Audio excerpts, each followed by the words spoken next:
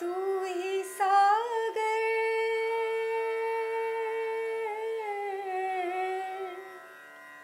तू ही सागर है, तू ही किनारा। ढूंढता है तो किसका सहारा। ढूंढता है तो किसका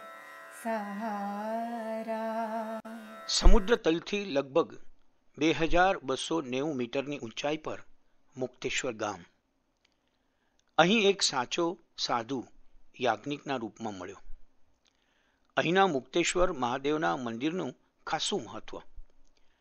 લગભગ બસો પગથિયાં સામા પવને ચઢીએ એટલે નાનું દેવી મંદિર. તેના પડખે રામ મંદિર અને છેલ્લે ઉપર મુક્તેશ્વર મહાદેવનું સદીઓ પુરાણું મંદિર. કહે છે કે પાંડવો વનવાસ દરમિયાન અહીં આવેલા અને તેમણે શિવલિંગ પૂજેલું. પણ શિવ મંદિર મુખ્ય હશે અને પછી નાના મોટા મંદિરો આવી ચડેલા સાધુઓએ બનાવી પોતાની જગ્યા કરી હશે. એક સામાન્ય હિન્દુ તારવી શકે કે આ ટોચ પર દેવી માનું મંદિર અને તેથી આગળ મુક્તેશ્વર મહાદેવનું મંદિર બંને પ્રાચીનતમ મૂળ મંદિરો હોવા જોઈએ. ઉત્તરાંચલની આ દુર્ગમ જગ્યા પણ તેને વિસ્મય બક્ષ્યું એક સાધુએ. મુક્તેશ્વરમાં સ્પર્શી ગયું પેલું દેવી માનું મંદિર અને તેમાં પણ મંદિરની બહાર યજ્ઞમય અવસ્થામાં રત એક યાજ્ઞિક સાધુ. દેખાવે વિદેશી લાગે, પણ પૂર્ણતઃ નિર્લેપ. આસપાસની લેશ માત્ર નોંધ લીધા વગર માત્ર ને માત્ર યજ્ઞમાં આહુતિ આપતા રહેવામાં જ વ્યસ્ત. સહજ વિસ્મય થયું. કારણ ઉપર ગયા ત્યારથી તે અઢી કલાકે પાછા આવ્યા ત્યાં સુધી? તે ધ્યાનસ્થ અવસ્થામાં, નીચે મોઢે, જમણા હાથે યજ્ઞ દ્રવ્ય નાના ભૂગર્ભીય કુંડમાં આહુતિ રૂપે હોમતા હતા. ઉપર જતી વખતે તેમને વંદન કર્યા, પણ તેમણે આંખ ઊંચી કરવાનું મન ન થયું. તેમણે મારી સામે જોવાની તસ્દી ન લીધી. અઢી કલાક મુક્તેશ્વર મહાદેવ પાસે ગાળ્યા. ત્યારે મનનો કબજો તો પેલા વિદેશી લાગતા યાજ્ઞિકની પવિત્ર સ્વસ્થતાએ લીધો હતો. કોણ છે અહીં? અહીં શું કરે છે? અહીં ક્યારથી છે? તેવા માનવ સહજ પ્રશ્નો ત્યાંના રડ્યા ખડ્યા એક જણને પૂછ્યા. એ તો કેટલાય વર્ષોથી અહીં છે. કોણ છે તેની બહુ ખબર નથી કોઈને.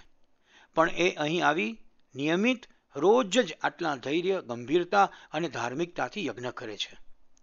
અમારા સંગાથી અને એક શિક્ષક, હિમાલય દોસ્ત સુભાષ ભટ્ટે કહ્યું કે હું છેલ્લા વીસ, પચીસ વર્ષથી એમને આમ જ જોતો આવ્યો છું.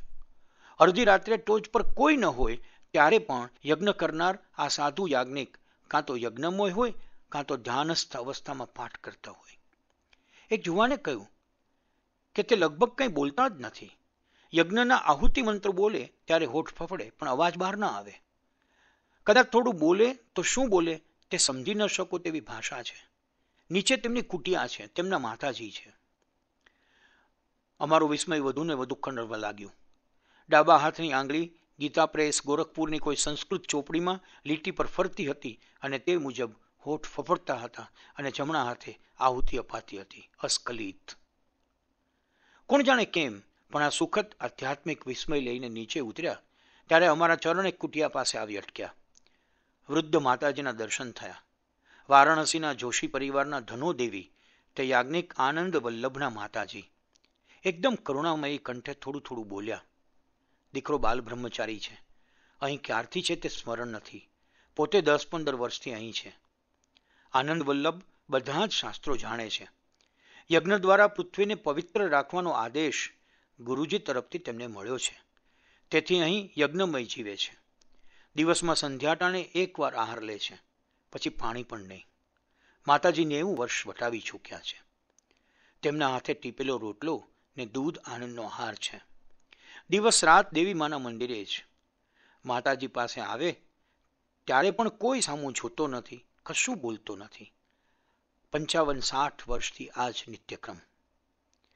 ધન્યતાના અનુભવ સાથે માતાજીને વંદન કરી પગથિયાં ઉતર્યા ત્યારે વિચાર આવતો હતો, મુક્તેશ્વર ઉપર મંદિરમાં હતા કે આનંદ વલ્લભ પોતે જ મુક્તેશ્વર છે? तू